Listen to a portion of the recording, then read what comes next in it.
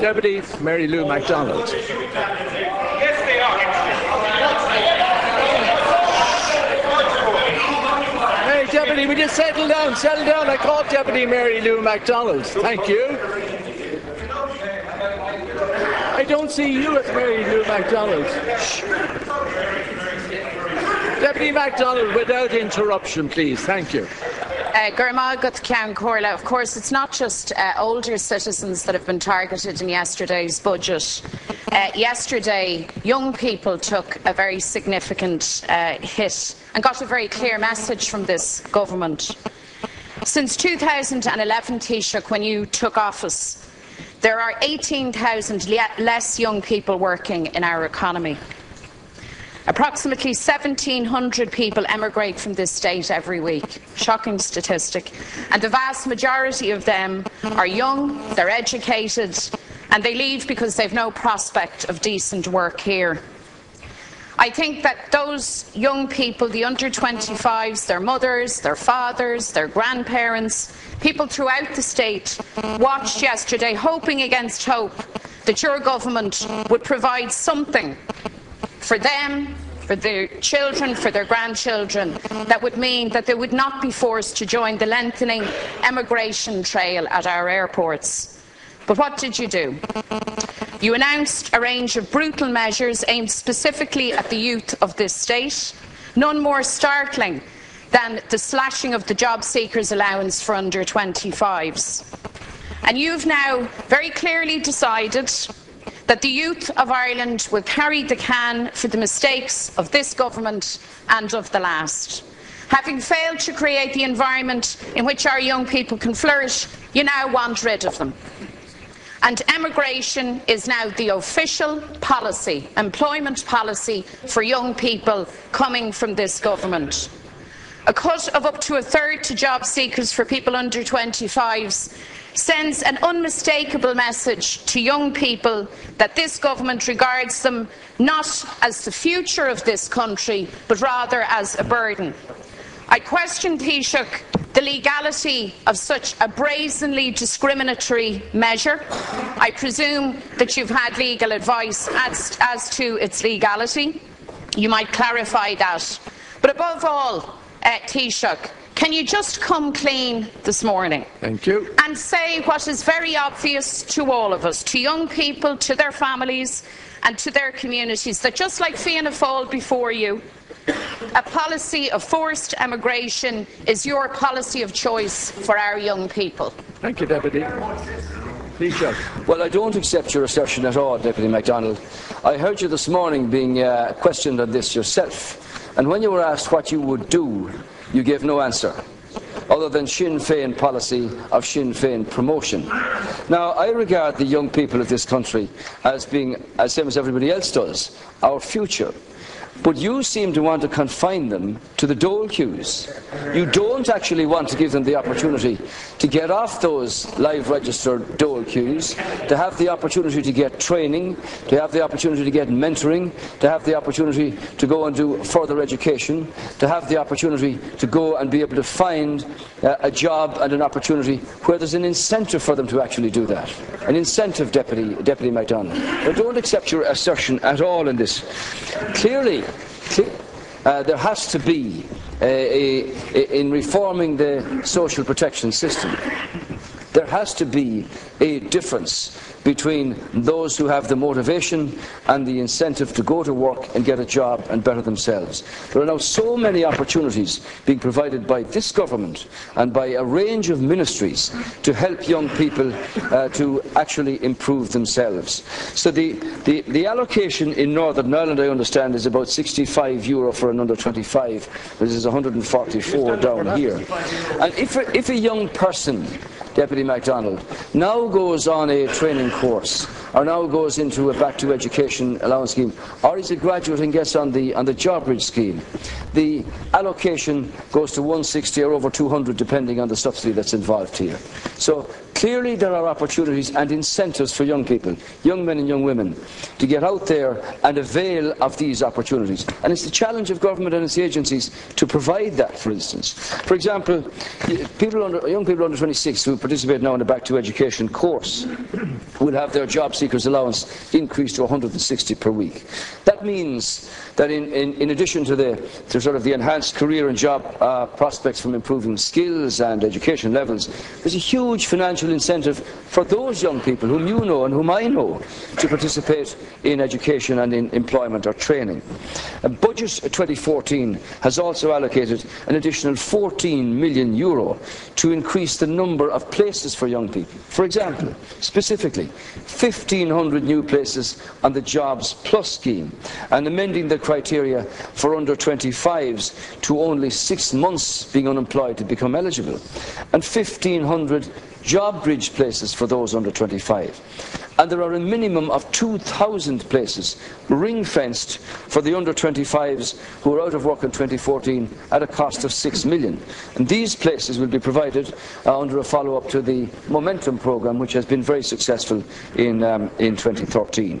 So next year, the Department of Social Protection with Minister, uh, Minister Burton will spend 1.08 billion euro 1.08 billion on work, on training, on education places, and on related supports for young people and for job seekers. Thank you. And that's an increase of 85 million euro, Deputy McDonald, on the projected spend this year. So what we want to see here is a real drive to incentivise and motivate young people to take a back to education course, take a training, take a mentoring, take one of the schemes for which places have been reserved for young people and allow them the opportunity uh, to, as it were, fulfil their potential and lead on to the world of work where their work is rewarded instead of languishing in a dispirited, disappointed fashion on the dole queues. That's not what this government is about. This budget is about bailout exit in December and about providing jobs and opportunities for young people to work, which the vast, vast majority of them want to do. Thank you. Deputy McDonald, one minute. Thank you. Well, I'm glad you clarified the fact that you recognise that young people want to work. Because the rhetoric from your government has consistently been to say, either openly or to insinuate, that young people choose social welfare as a lifestyle choice, that there's some kind of a, a layabout uh, generation. They're nothing of the sort. Yes, they want to work. Where, where, where are the jobs for them? Where are the jobs? Where are the jobs for our young people? The disgrace in all of this is that you, as a government, would have the brazen, hard neck to lay at the feet of our young people your failure, your failure to provide opportunities. And you see half baked Mickey Mouse schemes that you come up with to massage the live register figures. They won't cut it, Taoiseach. People want real jobs and decent work. The only thing that your budget achieved yesterday is to take 32 million out of the pockets of people under 25 on job seekers who want to work, who can't find work. But you didn't stop at that. You've cut funding to third level education. You've whacked up the registration fee for third level students again. You've taken money from young people on FÁS courses. You've hit apprentices now and insist that they pay a registration fee. So please spare me your waffle and your baloney about your concern for our young people. I tell you what you have incentivised. You have made it clear to people now to our young people that it's time to pack their bags, it's time to leave because this government has failed them, will fail them, sees them as a burden. And if I'm wrong, Taoiseach, if by chance I'm wrong, then can I put it to you, prove me wrong and reverse the cut specifically to job seekers' allowances. Prove that I'm wrong and make that decision and announce it here in the Dáil this morning. Thank you. Taoiseach. Well, it's a good flow of rhetoric, so I'll prove you wrong. Um, for, for the three years prior to this government being elected, we lost 250,000 jobs. That's a quarter of a million jobs in three years, or 7,000 a month. Now, the economic mess that was left behind by Fianna Fáil um, over many years has had to be cleared up. And we've stabilised that, and we're now creating 3,000 jobs a month. That's progress. It's not where we want to be. That's the first thing.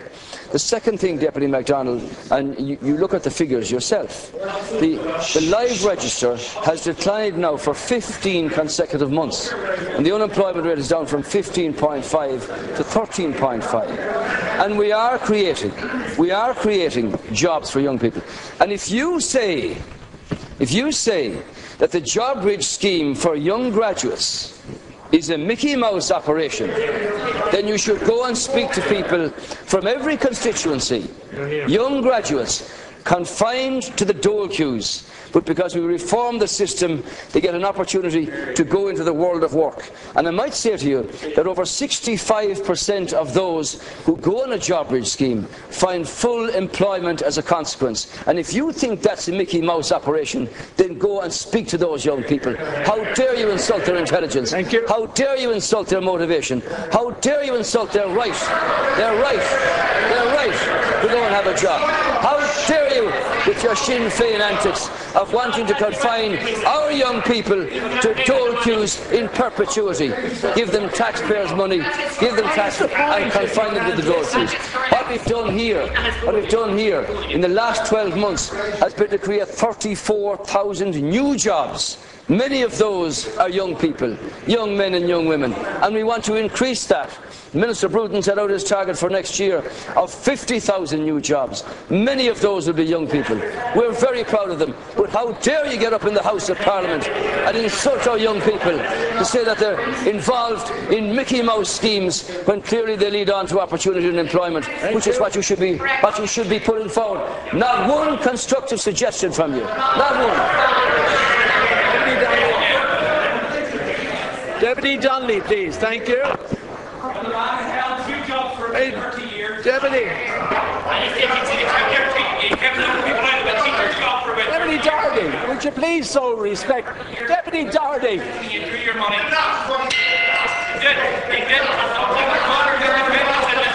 Deputy Dardy. Deputy Dardy, you leave the house if you're not careful. I call Deputy Donnelly. Would you stay quiet, please? Stay-